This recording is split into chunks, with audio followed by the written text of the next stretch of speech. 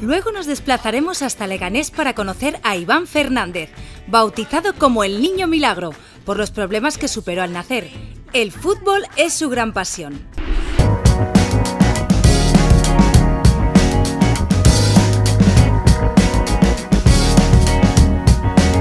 Iván Fernández, capitán del Club Deportivo Leganés de la Liga Genuín.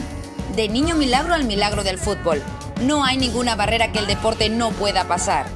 En su liga nadie pierde, la inclusión gana. Bueno, yo nací con una patología que era hernia de Bodalek. Eh, ya se lo dijeron a mi madre cuando iban a hacer, bueno, unos meses antes. Y bueno, pues era bastante complicado, ¿no? Se lo pusieron en los brazos y bueno, unos segundos después al quirófano.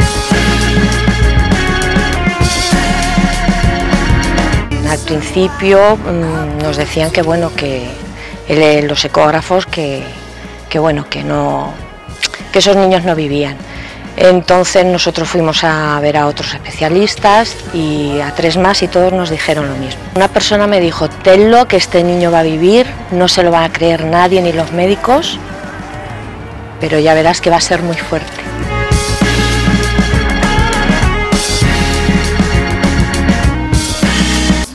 Dijeron a ver si podía aguantar vivo 24 horas. Aguantó vivo 24 horas para poderle meter a quirófano porque era muy complicada la operación. Era, tenía todos los órganos de la tripa en el pecho. Entonces lo primero los pulmones, el corazón se le desvió, en fin, que, que era una, una operación bastante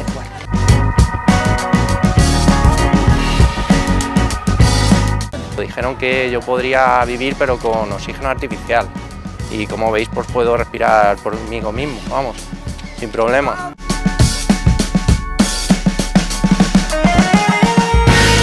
Bueno, el bullying fue porque yo estaba en el colegio, no sé si era cuarto o quinto de primaria, y bueno, el bullying era por el hecho de que iba a clases de apoyo escolar y ahí pues te insultaban y decían que eras un síndrome de Down no sé por qué, pero son gente bastante lista también y no tienen que denominarlo así. Estuvo pues bastante cerca de dos años, estuvimos ahí luchando, mm, peleando con el colegio, mm, porque el niño estaba mal, se veía mal, triste, vomitaba todos los días, o sea.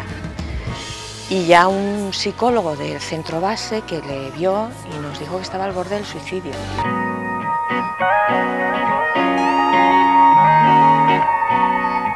¿Cómo vas a vivir así, no? ¿Cómo vas a vivir una situación de bullying? ¿Y cómo vas a ir al colegio si te están esperando para pegarte, insultarte? Eso no era vida tampoco.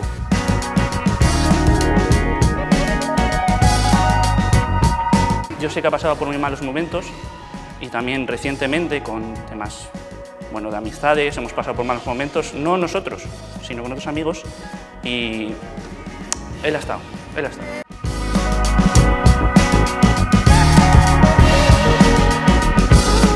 Pues sí que me ayudó muchísimo.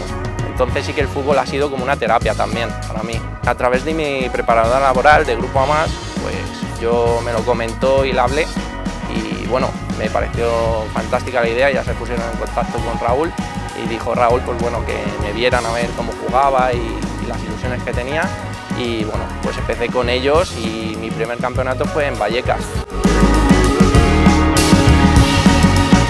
La Liga Genuine es un una liga de fútbol, es fútbol 7, en este caso fútbol 8, pero se juega con las mismas normas en los mismos campos que fútbol 7 y es una liga de equipos de personas con discapacidad intelectual inclusivos. Es una liga, pues como decimos, ¿no? de valores y sí que hay gente que verdaderamente se ha esforzado hasta llegar allí, ¿no? como todos y muchos de los jugadores tenemos patologías y bueno, la verdad es que es un gran esfuerzo estar corriendo detrás del balón y la gran energía que te da y además el compañerismo que tenemos.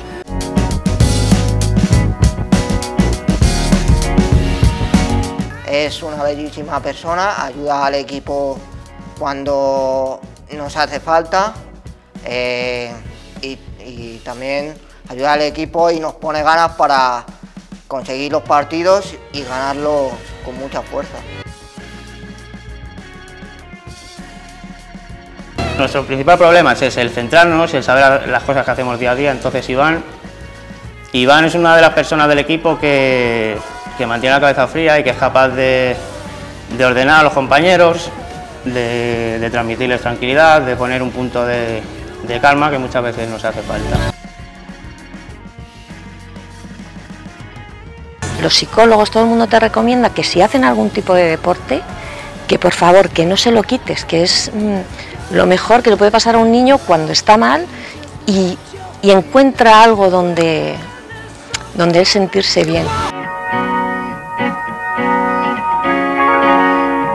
sacaría tarjeta roja pues eh, al comportamiento que tienen muchos en el campo y a los aficionados que empiezan a insultar a sus propios jugadores o al contrario y yo, debe, yo creo que se deberían fijar más en la liga genuine ¿no? para ese respeto.